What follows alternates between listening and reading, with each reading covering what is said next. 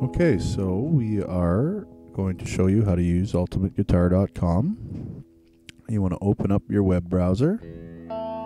I'm using Google Chrome.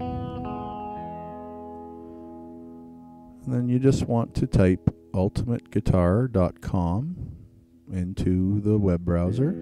There's a dash between ultimate and guitar.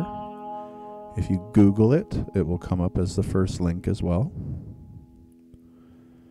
Okay, so now here's the website. There's lots of things on this website, uh, lots of advertisements and other options like programs and uh, all those links at the top. You don't need to worry about it that to get tab at school. All you need to do is uh, search the song you're looking for. You don't need to register or log in.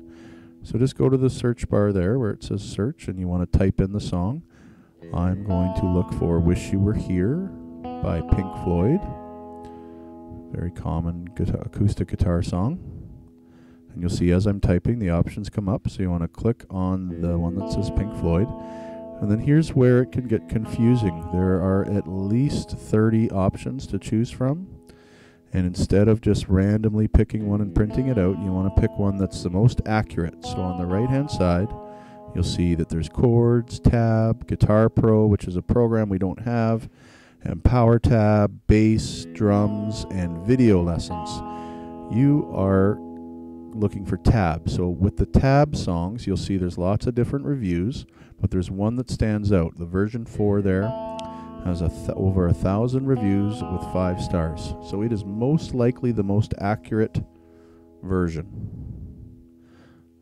So we're just going to open that one up.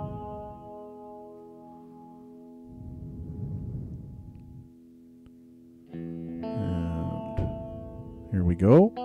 Now, when you get to this point, there's a lot of instructions at the top that are important, so make sure you read that if there's a special tuning uh, or a special capo that you need. Now, you don't want to print this right here because you'll get too small uh, of uh, numbers that will be too hard to read, and it'll also print all the advertisements on the side.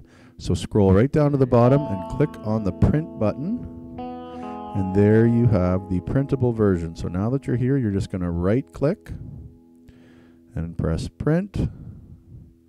Make sure the printer is the right one. If you're in the library, it will be the right one. The library printer. And hit print, and there you go. That is how you print tab off of ultimate-guitar.com.